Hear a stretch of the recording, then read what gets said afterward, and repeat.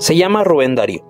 Tiene nombre de poeta, pero en realidad es estudiante de segundo semestre de Ingeniería Agrícola en la Universidad Rafael Andívar. Tiene 29 años y es uno de los pocos habitantes de San Miguel Los Lotes que sobrevivieron a la erupción explosiva del volcán de fuego. El domingo se levantó muy temprano. Tenía turno en el ingenio en el que trabaja. Su esposa, llamada Dorcas, tiene 24 años y también se levantó temprano para hacerle un pan para que él refaccionara en el trabajo. A eso de las 10 de la mañana se sentía intranquilo y miraba inquieto el reloj. Quería que llegara la hora de salida. A la una de la tarde, como es su costumbre, llamó a su esposa para saber cómo estaba. En casa, las cosas estaban aún en calma. Ese día me tocó trabajar. Cuando yo venía, como eso de la una de la tarde, le, le, llamé a mi esposa y le pregunté dónde estaba. Ella me respondió que todo estaba bien, solo el volcán que tenía humo. Pero en dos horas, todo cambió.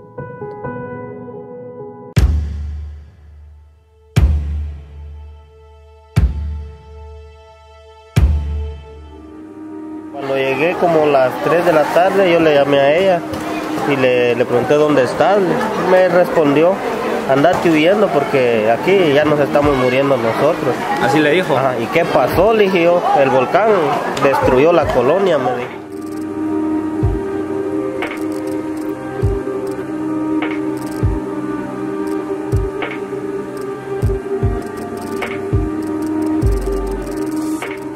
Vine yo, agarré como ando en, en moto, ¿va?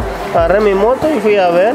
Ya no pude hacer ¿No se nada. lo pensó dos veces? No, ya no, yo lo que quería ver a mis hijos.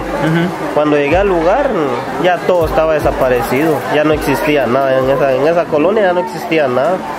Vine yo la esperanza que tenía llamarle, le volví a llamar y me contestó. ¿Dónde estás? Le dije, andate porque aquí se mira como que son las 12 de la noche, me está oscuro y estamos en medio de la lava, me dijo, y solo yo y mi familia, me dijo los demás familiares, que eran como 37 personas más o menos, que estaban ahí. Pero estás bien, sí, pero ya no podemos respirar. Me dijo, andate huyendo, salva tu vida. Me dijo, ah, yo no me voy, le dije yo, yo hago porque te saco, porque te saco. Le dije, solo teneme paciencia. Mientras Rubén aceleraba su moto, su hermano lograba proteger a su familia en medio de un verdadero infierno. Ellos creían que era el fin del mundo. Eh, como ahí donde vivíamos, eso es bastante amplio. La, ahí todos teníamos nuestras casas y en el centro vivía el, el cuñado de mi hermano que es pastor. Se fueron a refugiar a la casa de él. Y cabal, solo la casa de él fue donde no se llenó de material de lodo y de lava. Solo en ese pedacito estaban con vida La ellos. suya sí se Eh, quedó. todo se enterró. Solo esa casa donde estaban O sea, ellos, no, Si su esposa y sus hijos se hubieran quedado Ah, en su casa, ya no existieran, se hubieran muerto. Ellos se reunieron en el centro de esa casa donde estaba el pastor y ahí, ahí lograron sobrevivir como media hora en ese, en ese donde, donde no se miraba nada. Dice que mi hermano que él agarraba agua y le tiraba en la cara a mis patojos porque estaban muriendo. La esposa de él estaba embarazada y se desmayaba y se desmayaba y la revivía pura agua de la que él tenía ahí.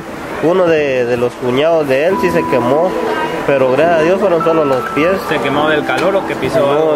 como se puso oscuro, él caminó y cabal caminó por donde estaba pasando el lobo con fuego. Se quemó, pero gracias a Dios lo lograron rescatar. Él ahorita se encuentra en el hospital, pero sí, ya, ya va mejor, ya no fue tan grave. Pero en ese instante lo- mi hermano vio que, que empezó a soplar un, un viento así algo fuerte que les desapartó todo y empezaron a ver claro. Es, Así. Ajá, y yo solo sentía que se quemaban a través del fuego. Él lo que hizo, dice que se hincó a orar mejor.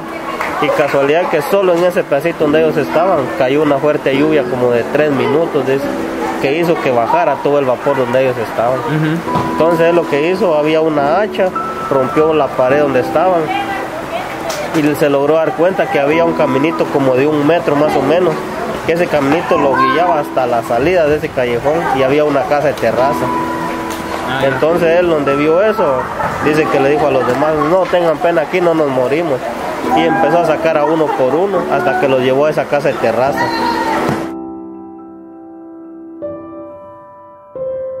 Para ese momento ya estaba en el lugar que ahora se conoce como primer cordón de seguridad, es donde inicia la zona cero.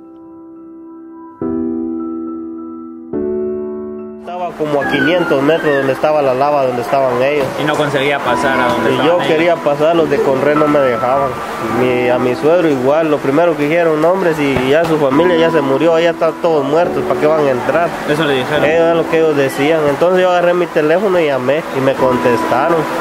Y les dije, entonces ellos que responden quiénes son, le dije, no es mi familia, le dije, y gracias a Dios estaban los soldados y unos policías. Ellos empezaron a luchar conmigo, desclavamos las láminas de un techo y empezamos a tirar palos y abrimos camino y logramos llegar hasta donde ellos estaban. Pero en el transcurso de eso ya iban como dos horas. Eso empezó a las llevan 3, dos horas ahí, ya de estar dos horas ahí en el puro infierno, ahí se puede decir el puro infierno porque no había más que fuego, agua caliente. Muchos de los vecinos de Rubén y Dorcas no tuvieron la misma suerte.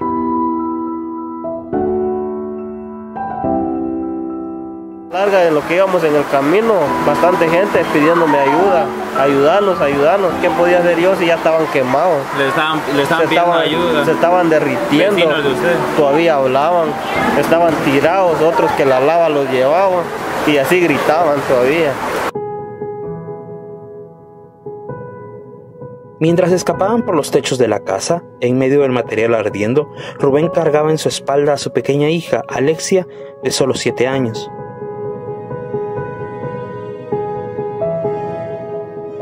Y a pesar de que cuando yo la saqué cargada, me la llevé a Tuto, ella miraba donde la gente gritaba. Lo, que le decía yo, cerrar los ojos, mamita, no mires, no mires. Vaya, me decía y volteaba a ver ella para otro lado. Rubén enfatiza que el personal de Conred no le ayudó, pero que los policías y soldados lucharon a su lado para rescatar a sus padres, hijos, hermanos y esposa. Sin embargo, dos de sus sobrinos están desaparecidos.